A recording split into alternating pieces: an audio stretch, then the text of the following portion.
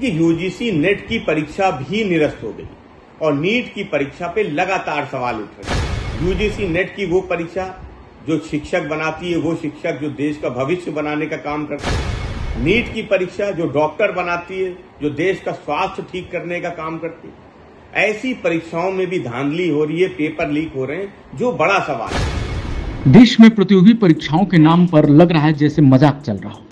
कभी paper leak हो जाता है तो कभी परीक्षा कराने वाली एजेंसी परीक्षा रद्द कर देती है। छात्रों के भविष्य के साथ ऐसा खिलवाड़ इससे पहले कभी नहीं हुआ है। छात्र परेशान है, पेरेंट्स परेशान है, बेरोजगारी चरम पे है। नीट जैसी देश की टॉप परीक्षाओं का जब ये हाल है तो दूसरी छोटी प्रतियोगी परीक्षाओं में क्या होता होगा, उसकी तो बात ही मत कीजिए।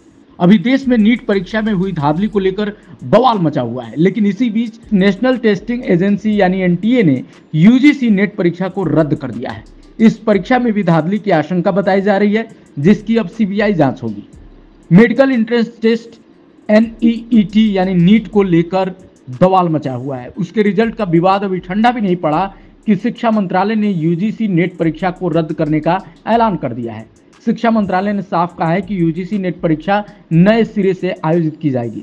सरकार के मुताबिक परीक्षा में गड़बड़ी के मामले सामने आए हैं और इसकी सीबीआई जाँच की जा रही है।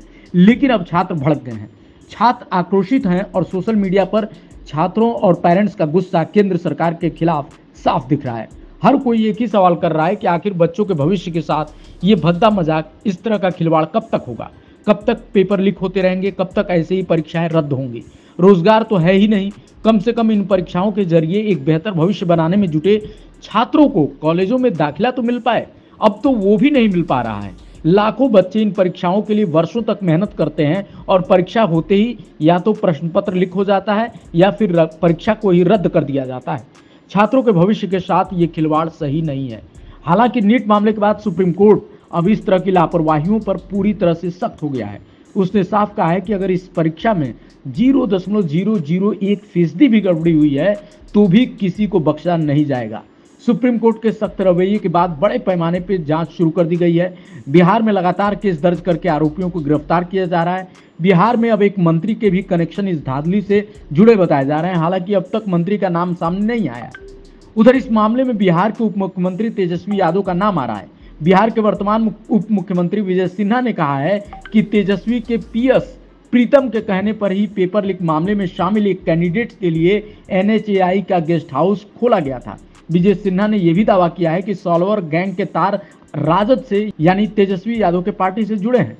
NEET UG paper leak case में जो लोग पकड़ाए हैं, उनका संबंध तेजस्वी यादव से है। ये बहुत बड़ा आरोप है, पुलिस अभी इस एंगल से भी जाँच कर रही है। लेकिन कुल मिलाकर छात्रों का भविष्य पूरी तरह से गर्त में दिख रहा है, क्योंकि नीट और नेट ये दोनों इतनी बड़ी परीक्षाएँ हैं कि इसमें लाखों की संख्या में छात्र बैठते हैं और इन परीक्षाओं में इस तरह की लापरवाही, इस तरह की धांधली होना ये बताता है कि कहीं ना कहीं सिस्टम फेल्योर है, कहीं ना कहीं ये सरकार को भी खटगरे में खड़ा करता है। आपका इस पूरे मामले पर क्या कहना है? जल्दी कमेंट कीजिए। मिलते अगले वीडियो में। नमस्कार।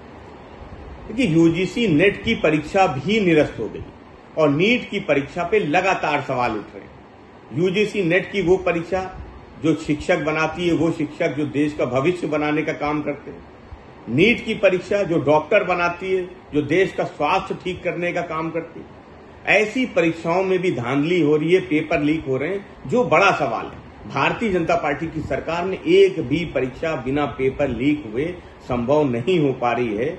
भारतीय जनता पार्टी की सरकार में देश के नौजवानों का, छात्रों का भरोसा नहीं रह गया।